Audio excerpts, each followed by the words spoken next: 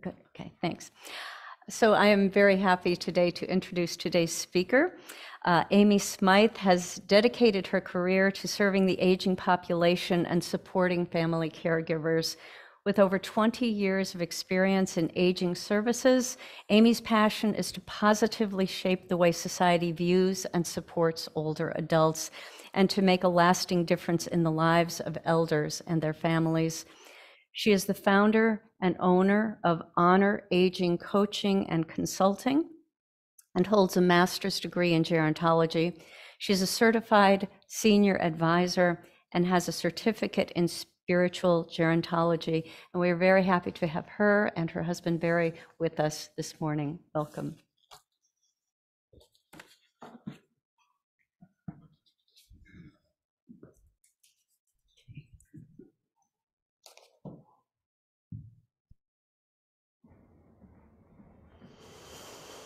Good morning. Good morning. I'm so honored to be here with you all and such a warm welcome. Appreciate that. The spirit really is in this place and it's beautiful to be able to join you this morning. I do want to honor uh, Chris and Julie, who are members here, and they introduced me to Deborah, um, who and I met Chris and Julie on a hike, and then they became my pickleball partners. So that's that's how I got connected with you all this morning. So about 10 years ago, I am sitting at my dining room table with my my grandmother and we're watching the birds out at the feeder. There's this quiet lull in our conversation as we sat enjoying nature and each other's presence. And in the space of that silence, my grandma asked, Why am I still here? And this question is the reason why I'm doing this today. It's the reason why I launched our company. It's the question that drives me to want to continue to restore the honor of elderhood. You see, my grandma was in her mid 90s at the time that she asked this question. To me, she was a great example of adaptive aging.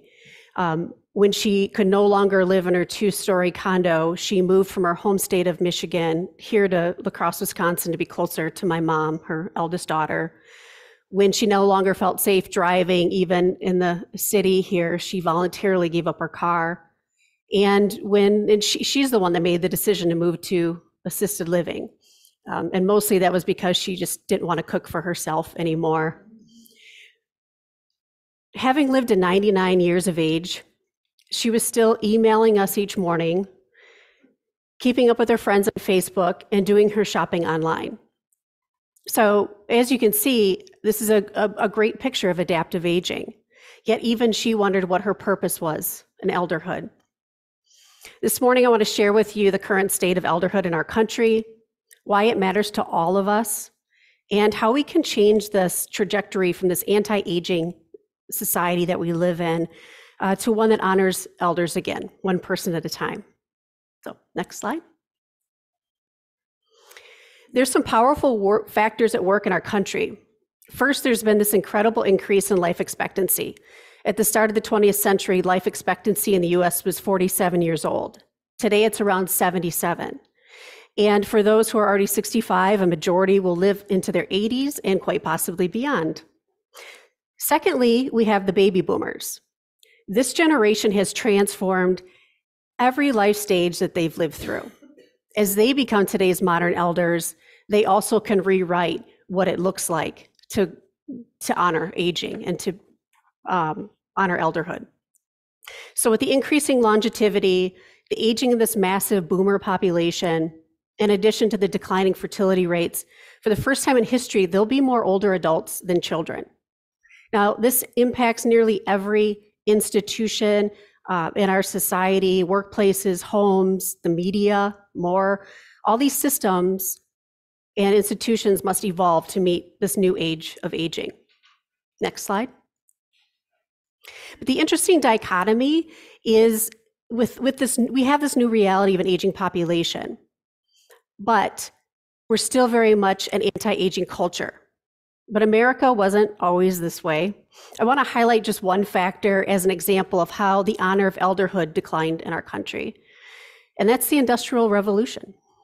While the Industrial Revolution indeed revolutionized America, one of the adverse effects it had was on our view of elderhood. There was this massive reorganization of our daily lives. Um, there was this shift from rural to urban areas, which resulted in families being spread out. And this disrupted the social systems that were once in place, making it more difficult for elders to rely on families for assistance. In rural areas that were largely uh, revolving around agriculture, knowledge was passed on from one generation to the next. The elders were needed and respected for that knowledge.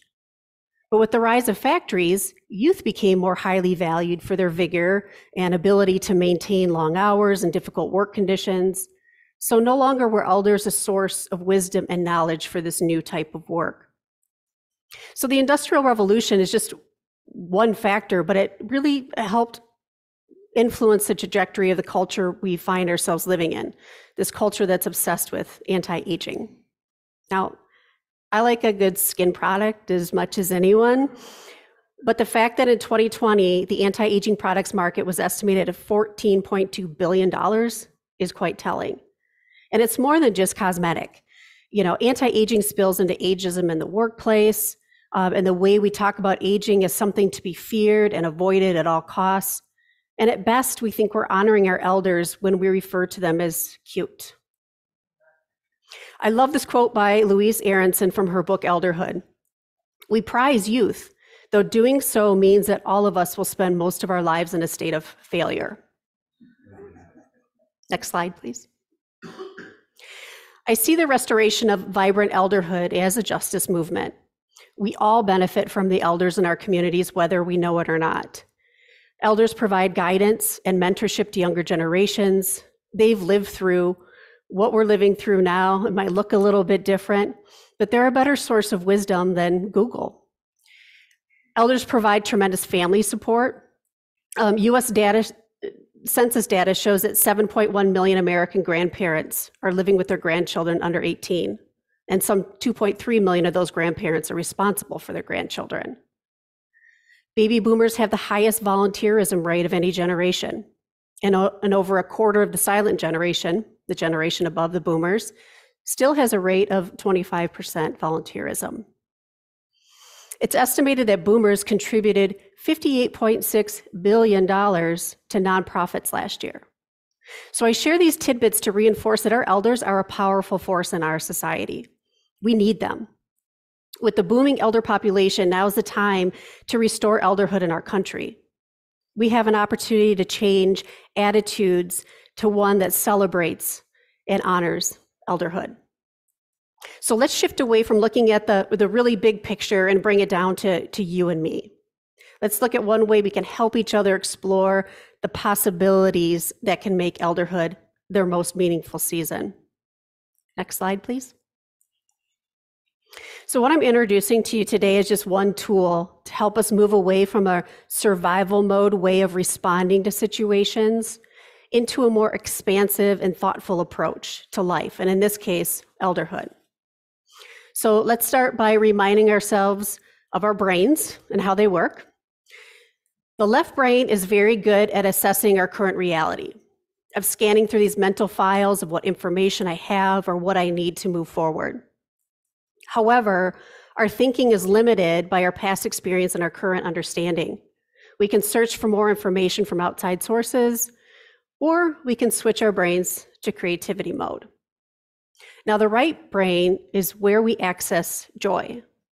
And joy helps us flip the switch into a relational mindset wherein we become connected to something bigger than ourselves and bigger than what our current experience is.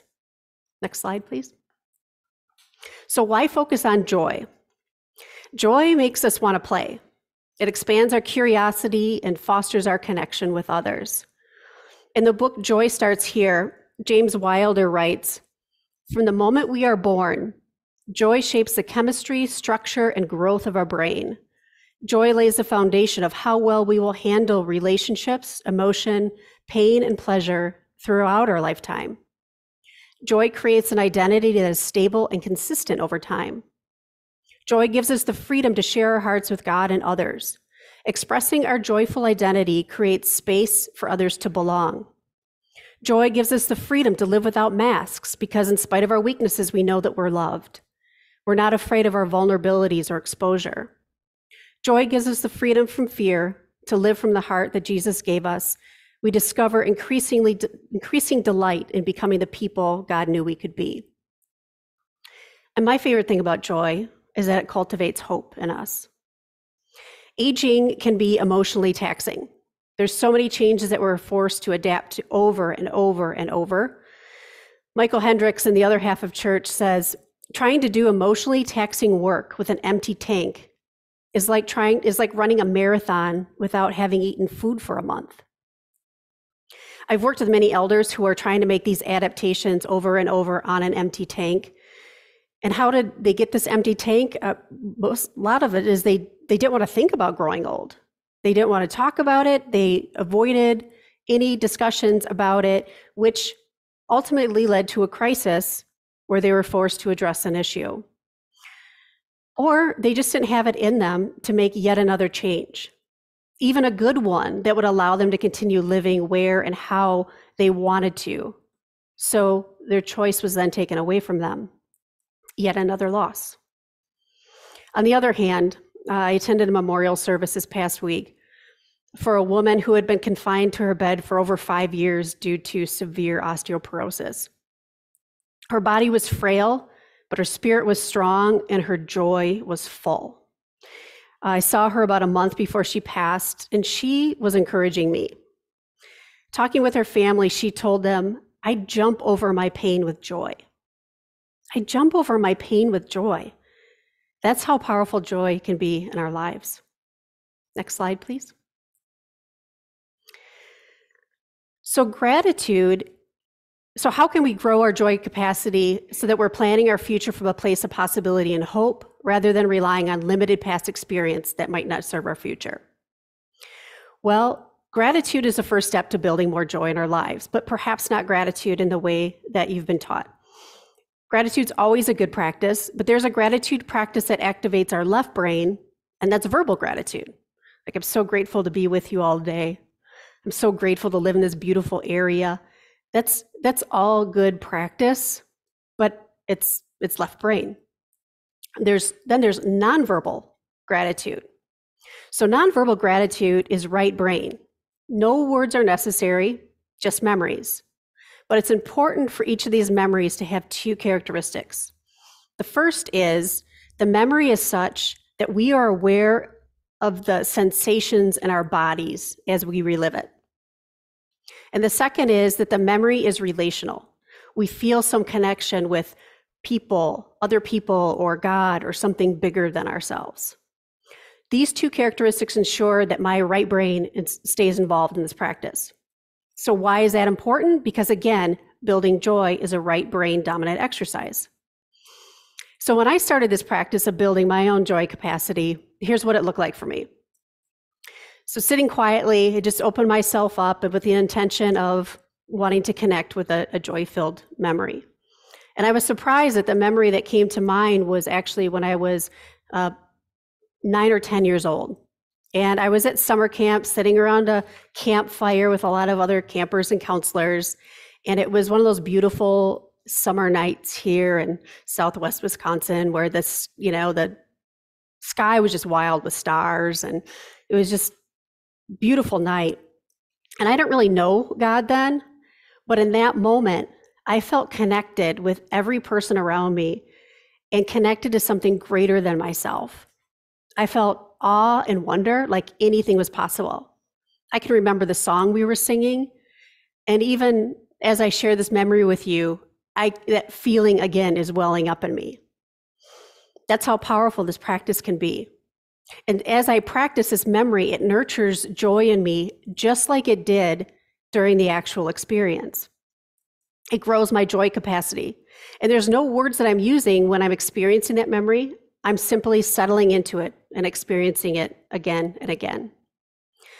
I, w- I would encourage you all to start your own bank of joy memories. As they come to you, just give them a little title that will remind you of the moment. Like for me, this was Sugar Creek Campfire. When I see that on a piece of paper and I'm practicing my joy, building my joy, I just see that and it takes me back right there to that memory. You can take time with your list and like five minutes a day and just enjoy those memories, enjoy the feeling that it inspired in you, and it increases your own joy capacity, which serves you well no matter your age. Next slide, please. So, this is a coaching tool that we use in our business. Instead of goals based planning, we focus on possibility based planning, with joy being the connection that gets us there. Oftentimes, I'm working with families in a moment of crisis and stress, or people who have tried all the things and don't know what to do next. Sure, I can throw out options for them, but I found it's more helpful to pull back a moment and get them more engaged in the process because at this moment, their tank is on empty. So, for example, working with an adult child who is stressed about their parents' choices or their unwillingness to make changes. I'll give them a few minutes to share with me the reality of their situation as they see it Maybe it's they don't think mom or dad should be living in their home anymore, that it's not safe. But before they go on and on and on in their frustration, I might ask them to take a deep breath and think of a time that they really enjoyed their parent. Before even sharing that memory with me, I'll just ask them to sit and connect with it. Just sit with that memory for a moment. And you can literally see their faces change and soften. They've connected with joy around that memory and then their tank isn't empty anymore. It's been filled with a little joy. And now the creative juices are flowing a bit. It's from that place that we can possibility plan. I worked with a client recently who was worried about their physical health and how it would impact their, their aging experience. And when they shared with me their current reality, it sounded something like this I should be able to fill in the blank. They compared themselves to others their age who were more physically fit and active and, and doing more physically demanding things with their bodies. This client sounded a little hopeless to me.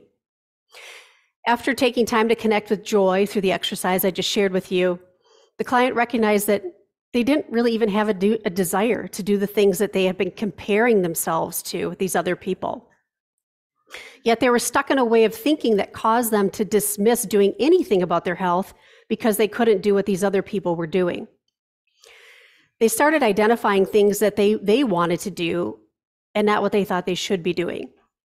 The client felt really good about the possibilities that they identified. What they actually did was they began to honor their own aging journey.